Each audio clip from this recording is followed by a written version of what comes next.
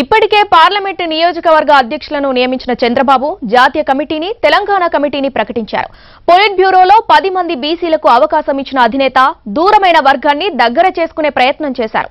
అయితే పొలిట్ బ్యూరోను ఏకంగా ఇరవై ఐదు మందికి పెంచేసిన అధినేత అందరికీ అందులో చోటు కల్పించాలనుకున్నారు.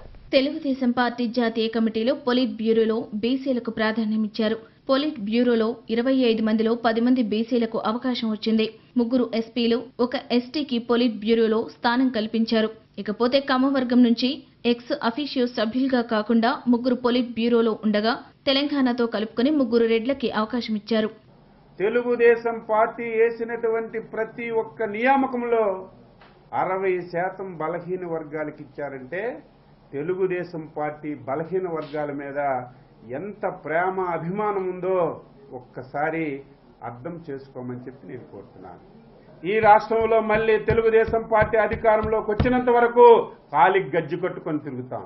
గతానుభవాలన్నీ కూడా బేరీజు వేసుకొని గత జరిగినటువంటి పొరపాట్లను సమీక్షించుకొని తిరిగి జరగబోయే ఎన్నికలలో వాటన్నింటినీ అధిగమించే విధంగా తెలుగుదేశం పార్టీ జెండా ఎగరేసే విధంగా మా కార్యక్రమాలు ఉండబోతాయి.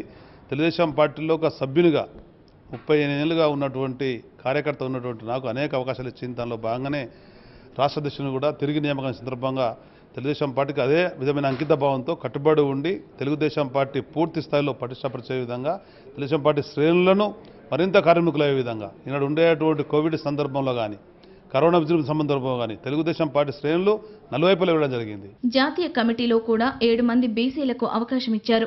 ఇందులో ఇద్దరు యాదవ వర్గానికి చెందినవారు కాగా ఇతర వర్గాలకు చెందినవారు మరో ఐదుగురు ఉన్నారు. అయితే కమిటీలో పలువురికి రెండేసి పదవులు వచ్చాయి.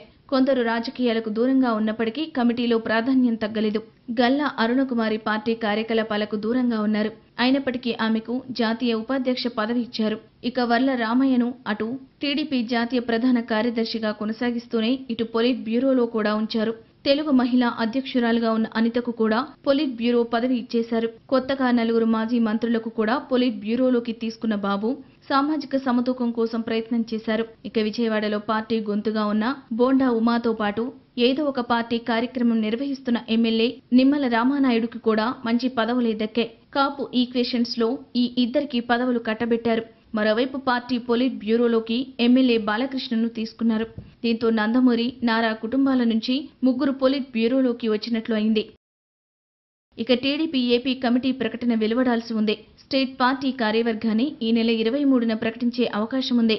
అచ్చెన్న పేరును మాత్రమే ప్రకటించిన చంద్రబాబు స్టేట్ కమిటీ ప్రకటన మళ్ళీ వాయిదా వేశారు.